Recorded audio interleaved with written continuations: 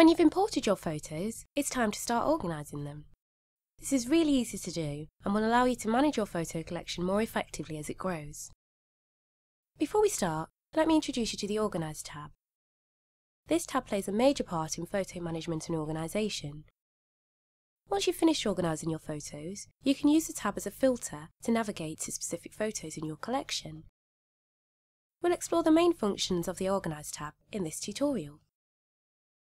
The first thing we'll do is create a photo album. You can add as many photos as you like to a digital photo album, which is great for storing photos from the same event or occasion together. To begin, click Create Album in the Album section of the Organise tab. Then type your album's name in the box.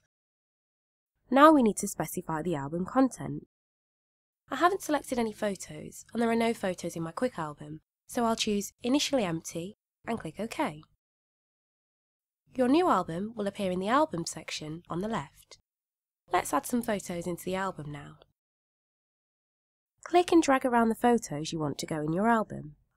Alternatively, hold down the Control key and click individual photos. You can also use the Shift key for selecting adjacent photos. When you've made your selection, drag it onto your album in the Albums list. When a blue highlight appears around the album's name, release the mouse button Click on an album to see the photos inside. I'll quickly create another album in the same way.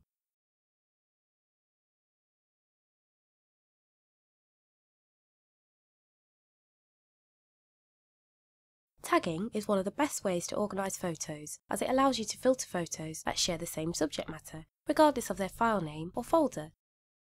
For more information, see the filtering and searching video tutorial. In the descriptive tags category on the Organise tab, you'll see some preset action-based tags, which come with PhotoStack. Let's apply these now.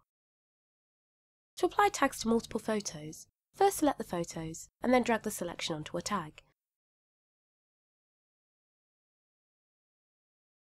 You can apply tags onto individual photos in the same way, or alternatively, select a tag and then drop it onto a photo. Creating your own tags is really easy to do. Click Create Tag on the Organise tab and then type in your tag. Press the return key on your keyboard and your tag will appear in the descriptive tags list. You can then assign it to your photos as you wish.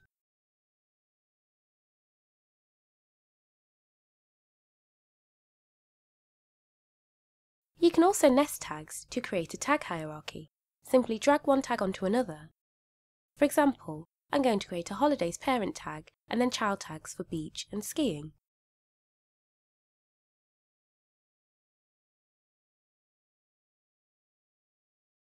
I'll also add the city break tag I created earlier. You can add as many tags as you like. If your photos are well tagged, they'll be easy to find. At the moment, only the file name for each photo is displayed on its thumbnail, However, it's possible to display additional photo details, including date taken, rating, and more. To do this, on the View menu, click on the Photo Details, and then choose an option from the menu flyout. Alternatively, use All or None to toggle all photo details on and off. In PhotoStack, you can allocate star ratings to your photos. This is really useful and allows you to categorise your favourites. To rate multiple photos at the same time, select them and then drag them onto a rating on the Organise tab. You can assign ratings to individual photos in the same way, or alternatively, select a rating and drag it onto the photo.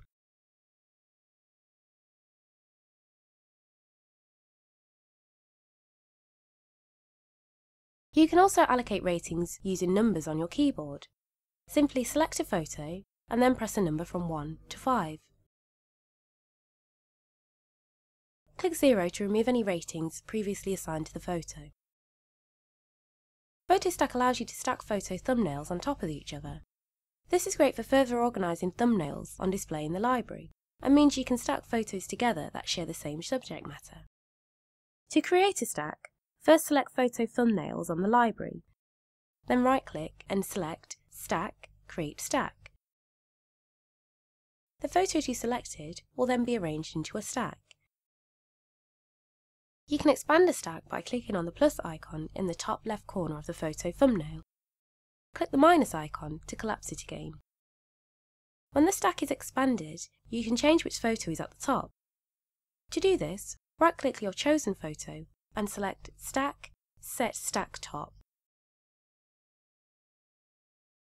Earlier on in this tutorial, we looked at creating photo albums.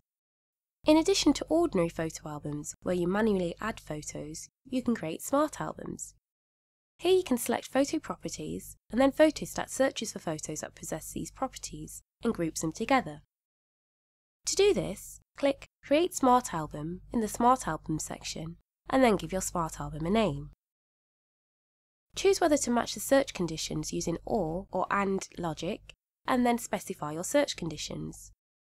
From the drop-down list, I'll select Descriptive Tag, and then in the second drop-down list, I'll select one of the tags I created earlier. The criteria I've chosen means that the photos with the skiing tag assigned to them will appear in my photo album. I'm happy with this, so I'll click Add and then click OK to close the dialog. To view the photos inside a Smart Album, just click it. As you can see, stacked photos have remained stacked in the Smart Album. If in the future you import any photos that match the Smart Album's criteria, PhotoStack will automatically add them to the album, which means it will continue to grow. That's it for this tutorial. I hope you've enjoyed learning how to organise your photo collection effectively. To find out more about PhotoStack, see the Learning Assistant. Thanks for watching.